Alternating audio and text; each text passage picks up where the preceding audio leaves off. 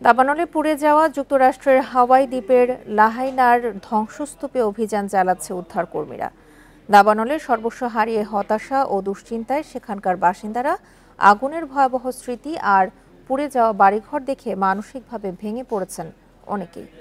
তবে দাবানল থেকে পরিবারের সদস্যদের সুরক্ষিত দেখে সান্ত্বনা দিচ্ছেন কেউ কেউ। দাবানলে পুড়ে ছাই হাওয়াই দ্বীপের লাহাইনা। চারিদিকে এখন শুধুই পুড়ে যাওয়া বাড়িঘর ও গাড়ির ধ্বংসাবশেষ। অথচ এক সপ্তাহ আগেও এখানকার চিত্র ছিল ভিন্ন। দাবানল ছড়িয়ে পড়লে বাধ্য হয়ে বাড়িঘর ছেড়ে নিরাপদে সরে যেতে হয় বাসিন্দাদের। আগুন নিভে যাওয়ার পর ফিরে এসে নিজেদের বাড়িঘরের এমন চিত্র দেখে কান্নায় ভেঙে পড়েন তারা। আগাম সতর্কতা না পাওয়ায় বাড়ি ছাড়ার জন্য পর্যাপ্ত প্রস্তুতি নিতে পারেনি বলে ক্ষোভ প্রকাশ করেছেন অনেকেই। সব কিছু হারিয়ে ফেলেছি তবে আমার পরিবারের সদস্যরা বেঁচে আছে নিরাপদে আছে। সেজন্য স্রষ্টাকে ধন্যবাদ। I hear there no sirens went off, nothing. আমরা কোনো সাইরেন শুনিনি।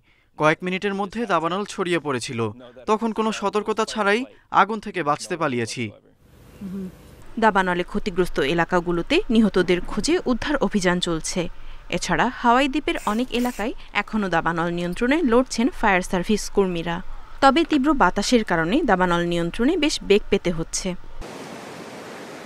কয়েকটি এলাকায় টেলিভিশন, রেডিও আর মোবাইল ফোনে বার্তা পাঠিয়ে বাসিন্দাদের কাছে দাবানল সম্পর্কে সতর্ক করেছে কর্তৃপক্ষ।